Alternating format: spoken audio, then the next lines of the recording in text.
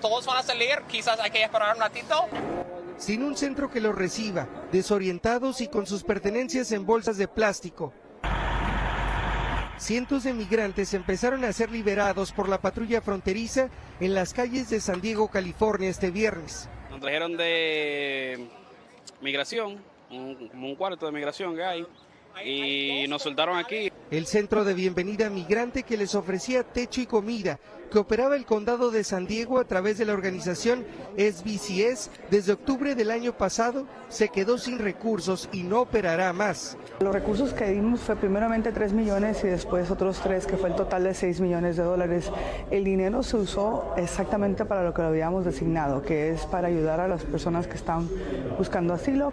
Para evitar que cientos se queden en las calles, hoy activistas transportaban a los migrantes tan rápido como podían, desde estaciones de transporte público hasta terminales de autobús y aeropuertos. Si no estuviéramos acá nosotros, todas las personas estuvieran totalmente perdidas.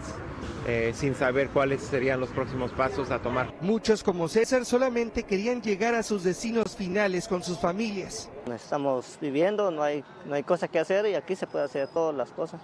Ante el cierre, activistas del grupo al otro lado y el Comité de Amigos Americanos ahora cuestionan a autoridades de la Junta de Supervisores del Condado de San Diego cómo es que la organización SBCS a cargo del centro migrante se gastó 6 millones de dólares en apenas meses.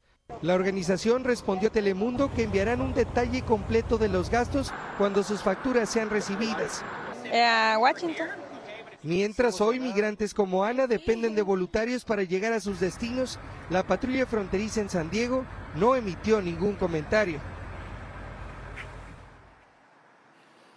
Y el gobernador de California, Gavin Newsom, urgió hoy al Congreso y a legisladores a enviarle ayuda federal para poder, recibir, para poder seguir recibiendo a estos migrantes. Autoridades locales aseguran que por lo menos aquí en las calles de San Diego, California, la patrulla fronteriza podría liberar asientos todos los días. Julio. Gracias, Francisco Fajardo, en California.